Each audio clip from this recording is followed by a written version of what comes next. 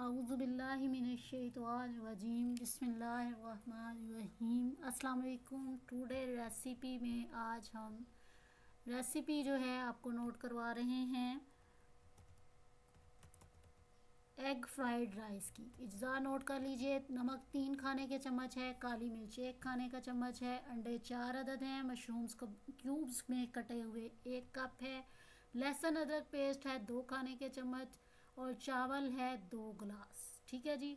और खाने का अच्छा यहाँ पे दो गिलास में चावल यानी वेट नहीं मैं बत, आ, बता रही क्योंकि सिंपल सी बात है आपके घर में जो नॉर्मल साइज़ का गिलास है बस उससे चावल को नाप लें ठीक है जी?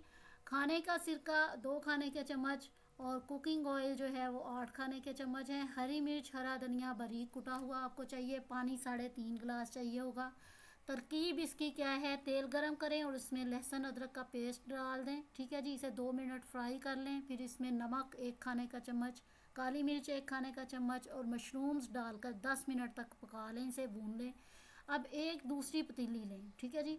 और इसमें दो चम्मच तेल जो है वो आपने डालना है, दो खाने के चम्मच नमक डालना है और साढ़े तीन गिलास पानी जो है वो आपने डालकर इसको उबलने देना है। जब पानी तेज़ उबलने जा, लग जाए तो इसमें आपने चावल डाल देने हैं।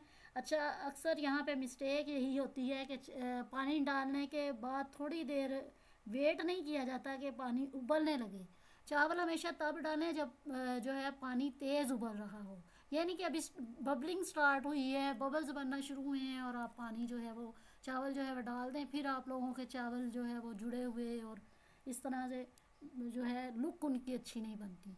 तो हमेशा तेज़ उबलते हुए पानी में जो है, वो चावल डालें। अब किसी बर्तन में जब तक ये चावल उबलने का प्रोसेस है, आप इसमें जो है, इस दौरान अंडे जो है, वो और तेल चार चम्मच उसमें, और एक जो है अपने सिरका जो है, सिरका वो आपको मैंने बताया, दो खाने के चम्मच, ये तीनों चीज़ें जो है, एक बाउल में डाल के अच्छे से मिक्स कर लेनी है।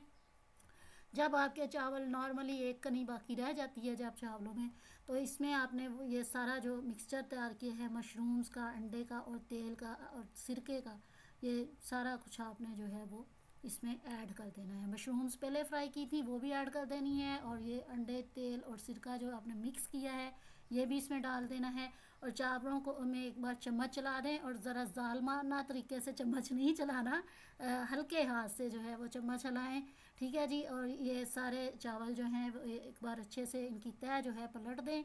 तो अब आप जो है आ, क्या करें जी? इसको हल्की आँच पे 10 मिनट के लिए रख दें और हमेशा जब दम देते हैं आ, तो दो चीज़ें हैं। या तो आप तवा नीचे रखेंगे और ऊपर गीला कपड़ा डाल देंगे या आप तवा भी नहीं रखेंगे गीला कपड़ा भी नहीं डालेंगे बल्कि क्या है, हल्की आँच करके ऊपर कोई वज़न जो है, वो चावल के पतीले के ढक्कन के ऊपर कोई वज़न रख दें तो भी वो सेम ही काम जो है वो करेगा, जो धनिया और वो सॉरी तवा और उस पर के ऊपर दिया गया गीले कपड़े का कवर करेगा, ठीक है?